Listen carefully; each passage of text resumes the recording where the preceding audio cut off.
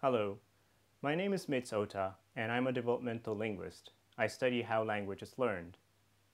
In particular, I'm interested in the relationship between sounds and words in the context of language learning.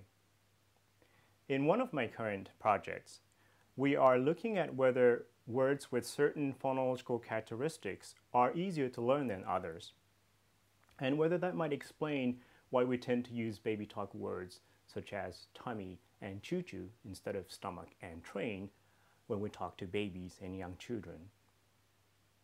To test this idea, we are running experiments in a lab using a paradigm called cross-modal preferential looking.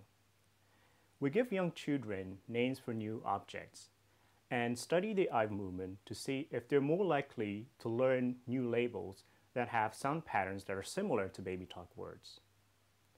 With studies like this, we're trying to gain a better understanding of the developmental mechanisms involved in learning sound patterns and words.